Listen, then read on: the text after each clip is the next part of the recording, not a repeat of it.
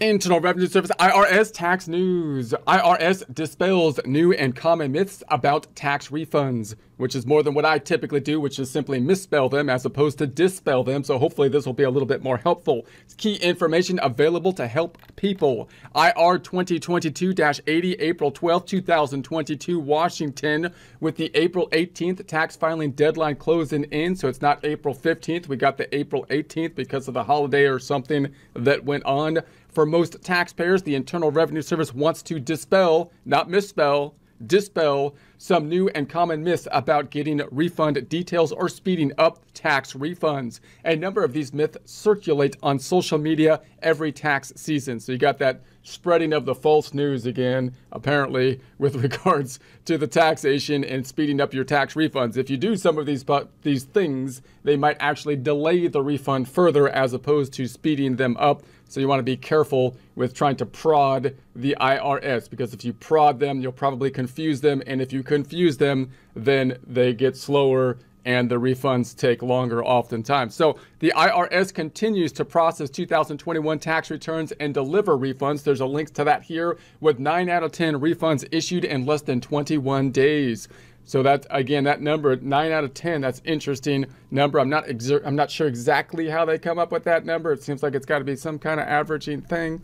But in any case, as of the week ending April 1st, the IRS has sent out more than 63 million refunds worth over $204 billion. The average refund is $3,226. Now, that has to be, an, it says right here, that's an average, so you can't really depend on your refund being $3,226 because that's a whole lot of people, and a lot of people are going to be under that threshold. A lot of people are going to be over that threshold. That 3,226 is an average. There's also going to be most likely outliers kind of out there way out on either end, zero refund or owing money. I'm not sure if they take into consideration owing money, people that owe money within their average. So again, grain of salt with that one. Huge grain of salt that you would take with the average such as that when trying to figure out what your actual refund would be. Probably more salt than actual you know, other stuff like soup or whatever we're eating with this fact. So the IRS reminds taxpayers the easiest way to check on a refund is where's my refund? There's a link to that tool here, an online tool available on irs.gov and through the IRS2Go mobile app. There's a link to that here. Where's my refund provides taxpayers the same information and issue date information that IRS assisters uh, tax professionals have. So in other words, if you call the IRS and ask them about your refund, they're going to most likely look up the same tool with Where's My Refund, providing you no added information than what you probably already looked up on the IRS website after having most likely waited for like 15 days to get a hold of somebody on the IRS, given the fact they're backed up on the hold times, which will probably be more frustrating than helpful. And therefore, you know, you might not want to do that if it doesn't help anything you might want to just check the Where's My Refund tool and take the limited information that is provided with it. So, Where's My Refund can, uh, can be used to check the status of tax return within 24 hours after a taxpayer receives their e-file acceptance notification. The Where's My Refund tool is updated only once every 24 hours, usually overnight. So there's no need to check the status more than once a day. So if you or anybody you know has some kind of nervous twitch, where they're checking the where's my refund tool every hour or something. You got to calm down. You got to calm them down. Stop that because it's not helping. It's just going to drive you crazy. You might check it maybe twice a day in the morning and in the evening because they check it or they fix it once a day. Anything other than that is some kind of obsessive compulsion that you know you really should work on. So taxpayers should only call the IRS tax help hotline to talk to a representative if, if it has been more than 21 days since their tax return was e-filed or more than six weeks since mailing their return. For those awaiting processing of a 2020 tax return, the IRS continues to make progress in this area and has taken numerous steps to help ad- address these issues, including stopping the mailing of key notices and adding more IRS employees as part of surge teams to continue working tax returns, as well as amended returns and correspondence from last year. So they're kind of backed up because of the COVID things, the social distancing, the government putting in those social distancing rules over the first people they have control over, the government. so you would think the IRS would be, you know, most hard hit with those kind of rules that are, are seem to be kind of vaporizing out of to nothing all of a sudden. We, you know, we don't hear about them like at all anymore. It seems like, but you know, they're still backed up because of those items. So, seven common myths about tax refunds. Myth one calling the IRS or visiting an IRS uh, office speeds up a refund. So, many taxpayers mistakenly believe the commonly held myth, and it's a myth here, they're saying that it's like, it's kind of like, you know, Snow White or something that speaking with the IRS may uh, phone or visiting in person at an IRS Taxpayers Assistance Center will expedite their tax refund. The best way to check the status of a refund is online through the Where's My Refund tool at irs.gov or via the IRS 2 Go mobile app.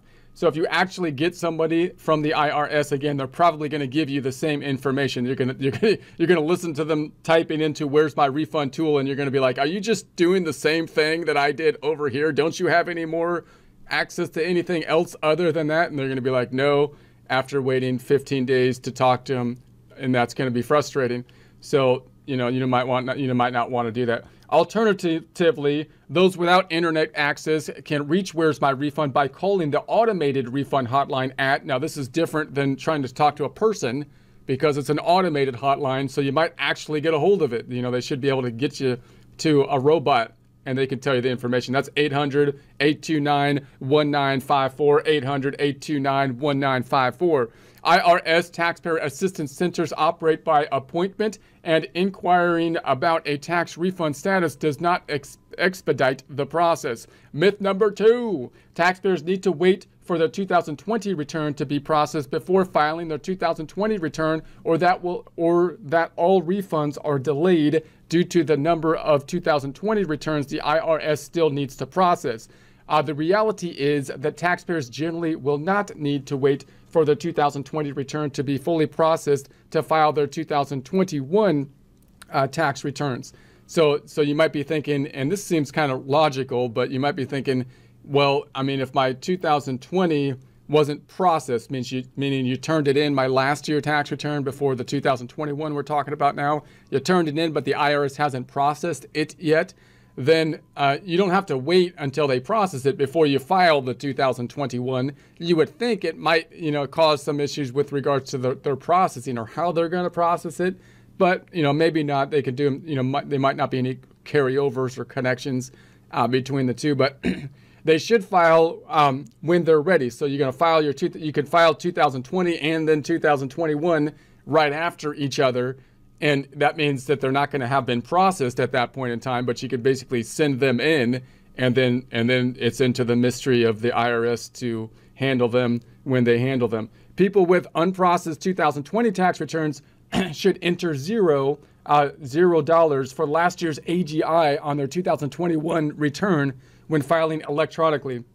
So this is might what what be leading. This is the thing that might be leading to this myth, meaning when you file 2021, your tax software, in order to verify you, uh, may ask for your prior year's AGI. And if your prior year didn't process and you put in your prior year AGI, it's not going to process the return. You got to know the secret code, just like when you played Nintendo back back in the day and you had to just hit up, up, down, right, left, right, A, A, A, B, or something like that. Same kind of thing here. You got to know that in that instance, even though you filed 2020, if it hasn't been processed, the IRS doesn't know what the AGI is, so you have to enter zero. So that's probably a myth that is kind of well founded because you know people tried to file it and they couldn't, and they waited till the tax return process so that the IRS had the AGI because they didn't know the secret code. But now you do. You enter a zero there, and you can file your 2021 return even though 2020 wasn't processed. Myth number three Taxpayers can get a refund date by ordering a tax transcript. Ordering a tax transcript will not inform taxpayers of the filing of the timing of their tax refund, nor will it speed up a refund being processed. I don't know what caused this one. Like this just seems completely random. I don't, you're going to order a tax transcript, and that's going to make the IRS go faster on your return, like as if they have to pull the return up to the front of the pile to give out the transcript or something like that. I don't know. Maybe if it was a paper processing thing, but with the electronic age, I don't. That doesn't seem I don't know where that came from. It's not like the last one, which seems kind of logical, so doesn't seem right to me. Taxpayers can use a transcript validate past income and tax filing status for mortgage, student, and small business loan applications and to help with tax preparation. Uh, but the Where's My Refund tool is the fastest and most accurate way to check the status of a refund. Myth number four is Where's My Refund must be wrong because there's no deposit date yet. While the IRS issues most refunds in less than 21 days, it's possible a refund may take longer for a variety of reasons. So, you know, again, that 21 days, I don't know where, I don't know, I don't see the calculation. They're telling us 9 out of 10 or something like that. I still, I mean, I haven't seen them actually calculate it, but the, I don't depend on that per se. But of course, there's a variety of reasons where you could have an extension of time over 21 days. So you don't really want to be depending. You don't want to have spent that money unless you have to spend it, you know, and, and, and before you get it, typically, uh, unless you have to, of course, including when a return is is incomplete or needs further review. So if it's not complete or if it needs further review, if something doesn't match up, like you got something different on the W-2 than the W-2 that they have, or different on the 1099 than the 1099 that they got from the issuer the employer or the issuer of the 1099 because they have that information, that's going to cause a problem. Delays can be caused by simple errors like an incomplete return, transposed numbers, or when I hate when that happens, or when attack, but the computer helps with that anyways, or when the tax return is affected by identity theft or fraud. The Where's My Refund tool uh, only updates data once a day, usually overnight. Myth number five Where's My Refund must be wrong because a refund amount is less than expected. They didn't give me the refund. I told them. I told them what the refund amount was, and they gave me a smaller amount. Well, the different factors can cause a tax refund to be larger or smaller than expected.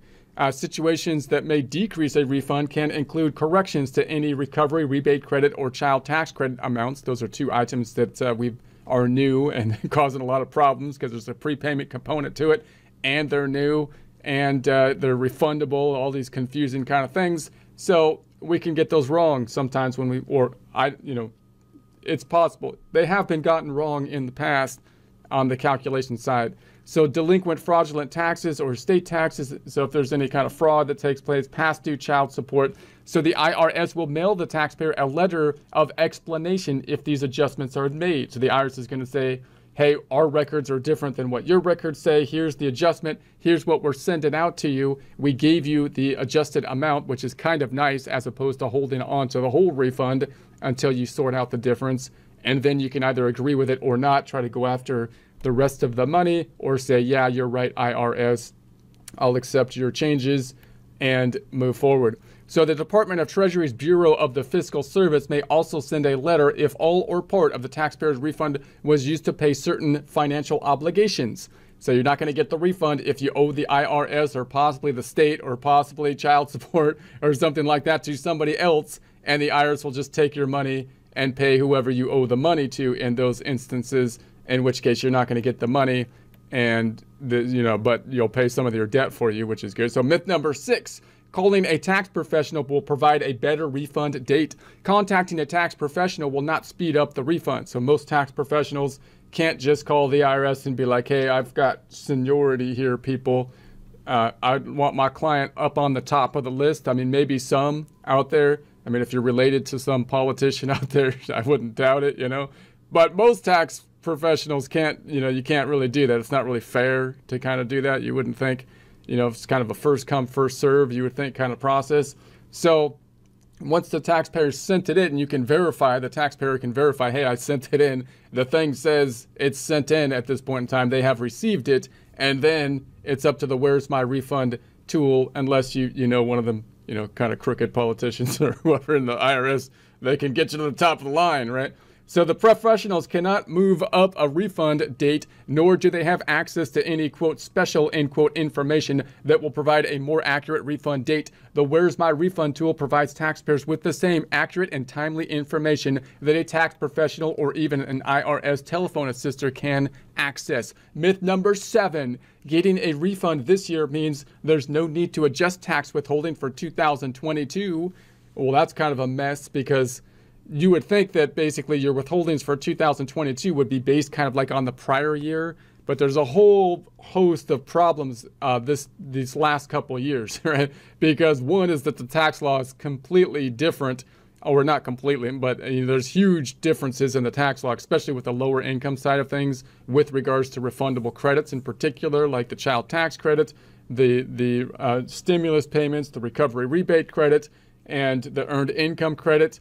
So th- that in and of itself can hugely skew, you know, what what the taxes are going to be from year to year, even if your income levels and your your work didn't change from year to year, and people are also changing their work from year to year. So you might be moving from job to job, or you might be, you know, moving away from a job to doing gig work or something like that. Whatever you can do that wasn't closed down for the last uh, two years, or whatever. And so that means that next, so the next year, then we can't really have that same consistency in either the work that we were doing or the the tax code itself, which could both of those things can change kind of drastically. That's on top of that, you might have the normal life changing conditions like a marriage or a new child or moving, uh, buying a home or something like that any of those conditions would, would also mandate that to get your withholdings right, you might want to redo the calculation, kind of like redoing that W 4, but you really need tax software to do it because, again, the prior year tax law is going to be different than tax law most likely going forward, uh, possibly. So you really need kind of software. Now, they do have this tax withholding estimator on the IRS website, which is getting more and more like basically tax software to help you to do a projection which is the only way that you can try to get the, the refunds for 2022 correct because your goal is to pay a little bit more than you owe in an as you go kind of payment system. That's why they withhold money from the W 2 information and so on, so that you can, withhold, you can avoid the sticks that the IRS wields. And those sticks are called penalties and interest. So you want to check into that. For, I think almost anyone should basically look into it in 2022 because of all those differences that we just talked about. So, in any case, taxpayers should continually check their withholding and adjust uh, accordingly. Adjusting tax withholding with an employer is easy as using the tax withholding estimator tool. It's not that easy if it's like an estimate, but you know, it's not that difficult. But the tax an estimate is not really that easy. But in any case, check it out. It's a cool tool anyways. It can help taxpayers determine if they are withholding the right amount from their paycheck. Taxpayers who experience a life event like a marriage or divorce, childbirth or adoption, home purchase, or major income change are encouraged to check their withholding. So that's basically probably like most people at this point in time. And I would include on that list anyone experiencing massive changes to the tax code from year to year, which then caps it out to everybody in the United States at least. So withholding taxes placed uh, through the year, uh, so it's better to take uh, this step as soon as possible. So that's what you want to do it now so that you don't have to fix it at the end of the year, which means you got to make extreme changes to the your withholdings. You want the withholdings to be adjusted now so that uh, you can kind of have it more consistent throughout the entire year, starting earlier in the year or making the adjustment earlier if needed rather than later. So there'll be links to that uh, tool and links to all this other stuff here, and there'll be a link to this in the description